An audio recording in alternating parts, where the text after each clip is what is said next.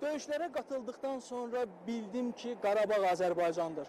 Bu sözləri Livanlı Qarabağ döyüşlərində vuruşan muzlu terrorçu Elcekçiyan Viçken Abraham bildirib, hansı ki məhkəmə öz məhkəmə prosesində bundan başqa o müxtəlif e, versiyalar üzrə çıxış edib və dindirilib hakimlər tərəfindən onun tanışı qeyri-rəsmi nigahda olan Maral Nazaryanın da video görüntülərlə görüntülü müsahibəsi verildi və e, bütün faktların Maral öz dili ilə danışdı. Maral bildirdi ki, 2500 dollar müqabilində e, qeyri-rəsmi nigahda olduğu yoldaşı Viçken döyüşlərə qatılıb ta Livandan gəlib Ermənistana burada muzda pul müqabilində döyüşə qatılıb.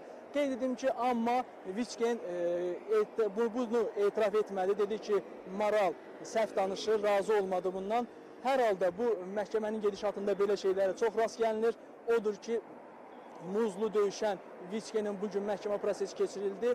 Onu da qeyd edək ki, Viçken e, döyüşlərdən əvvəl 44 günlük vətən müharibəsindən əvvəl də Ermənistana Maralla birlikdə gəlib, orada iş işləyib, amma e, Ermənistanın iqtisadi vəziyyətindən dolayı e, pul qazana bilməyib və yenidən Livana dönüb. Amma e, növbəti dəfə vədlər alıb ki, 2500 dollara iş və Ermənistanda yaşayışla təmin olunacaq, Qarabağda daha doğrusu. Bu baxımdan o iştahlanaraq yenidən Ermənistana qayıdıb və 12-15 gün ərzində o vəd edilən şərait ona yaradılıb. Ondan sonra müharibə başlayıb və eşidib ki, həmən bu pul müqabilində muzla döyüşçü axtarırlar və o da döyüşlərdə iştirak edib. Bu gün isə e, Yasamal rayon məhkəməsində növbəti iclas keçirildi və e, həmin Viçken dövlət ittihamçısı tərəfindən 20 il həbs istənildi Viçkenin, amma o bununla razı olmadı. Bu baxımdan məhkəmənin növbəti iclası iyunun 11-nə keçirildi.